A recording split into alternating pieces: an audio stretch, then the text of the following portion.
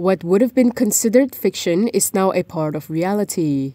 DAP chairperson Lim Guan Eng joined hands with UMNO to do some groundwork and breakfast with party leaders and members. The event appears to have taken place on Saturday. However, Lim only posted about it Tuesday.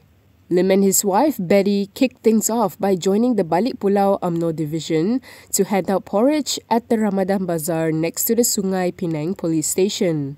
He then convoyed with them to breakfast at a local eatery. In a Facebook post, Lim thanked Shah Headan Ayoob Shah, the local UMNO division chief. He also thanked the entire Balik Pulau UMNO family for welcoming them with such special treatment.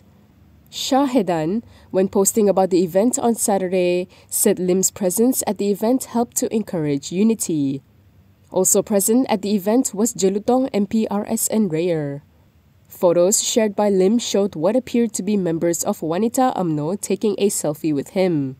DAP and UMNO were once bitter enemies, with Lim and his father Kit Siang often portrayed as boogeymen out to destroy the Malays.